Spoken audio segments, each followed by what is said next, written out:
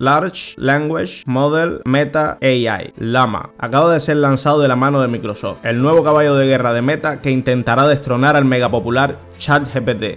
Y como nos encantan las noticias de inteligencia artificial, te lo contamos aquí, en Shark's Mind, donde si no.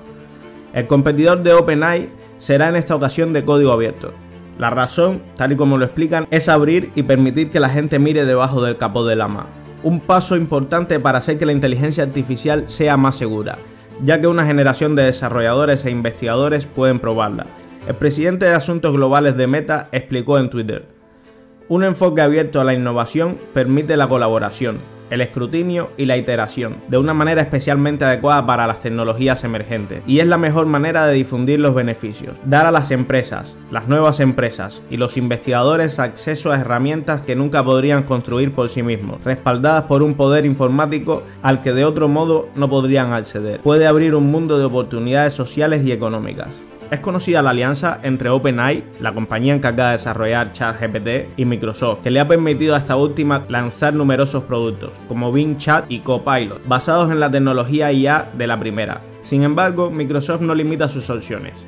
Tal y como hemos comentado al inicio de este vídeo, acaba de anunciar su colaboración con Meta, para lanzar Llama 2, el principal modelo de lenguaje open source. La primera versión de Llama fue lanzada hace menos de 5 meses y tras su filtración dio lugar en pocas semanas a toda una serie de modelos open source derivados como Alpaca o Vicuna, que rápidamente se pusieron las pilas para cerrar la brecha que le separaba de los gigantes de código cerrado, GPT y BAR. Sin embargo, esa primera versión no permitía el uso comercial, lo que limitaba su provecho económico. Pero eso acaba de cambiar. Ahora esta nueva versión con un funcionamiento idéntico al de ChatGPT, ofrece la oportunidad de trabajar en 27 idiomas diferentes. Y aquí viene lo bueno, de usarla con fines tanto de investigación como comerciales.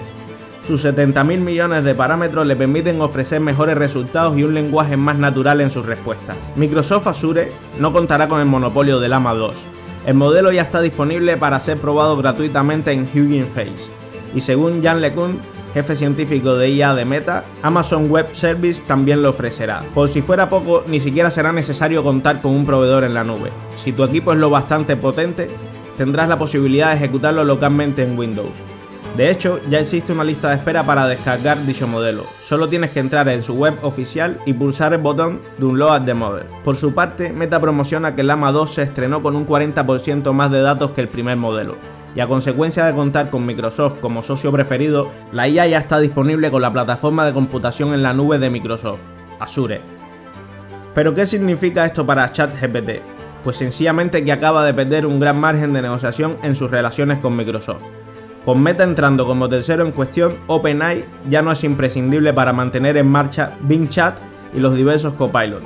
Microsoft se podría permitir si quisiera cambiar de modelo de lenguaje manteniendo la misma interfaz.